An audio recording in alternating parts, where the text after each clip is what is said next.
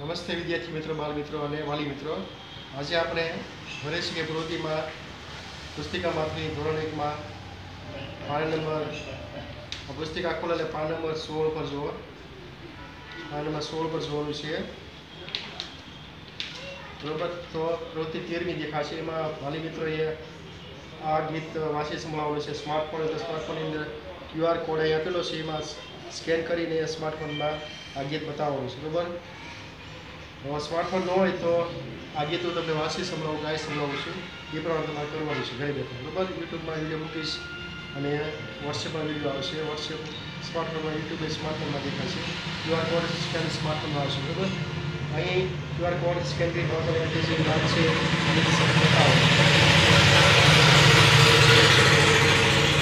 આ ગીતમાં બાળકને આંખ, નાક, કાન મોટો હાથ અને પગના કામ શું છે તે શીખવવાનું છે. જો આપની પાસે સ્માર્ટફોન ન હોય તો નીચે આ ગીત આપેલ છે. તે જોઈ વાંચી કે ગાઈને સંભળાવવું પછી ક્યાં એમનું શું કામ છે તે અંગે પ્રશ્ન પૂછવા.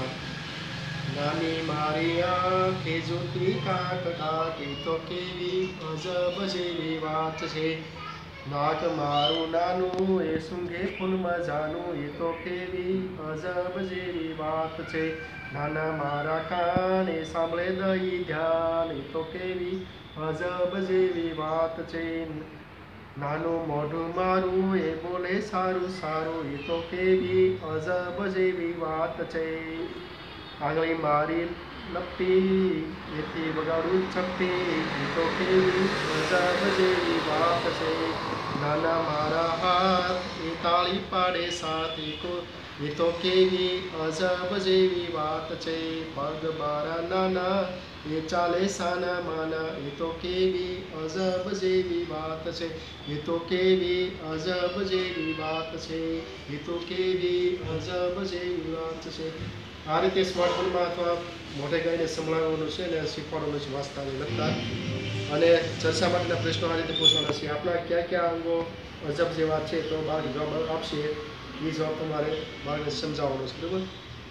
ફોનને શૃંગાર તમે ક્યાં અંગનો ઉપયોગ કરો છો? આવો પ્રશ્ન પૂછવાનો. તો પગથી તમે શું શું કરો છો? જેને હાથ ન હોય તે કેવી રીતે પોતાના કામો કરશે? તો આ પ્રશ્ન આમાંથી બનાવીને તમારે તમારા બાળકને પૂછવાનું છે. બરાબર? આપણા કયા કયા અંગો અજબ જેવા છે તો આપણા નાક, કાન, મોઢું, જીભ, હાથ ને પગ, આ બધા આપણા અંગો છે એ અજબ જેવા છે. બરાબર? ફૂલને સુગા માટે તમે ક્યાં અંગનો ઉપયોગ કરો છો? તો ફૂલને સુગા માટે નાકનો ઉપયોગ કરીએ છીએ. બરાબર? નાક આપથી આપણે ફૂલ સૂંઘી શકીએ છીએ.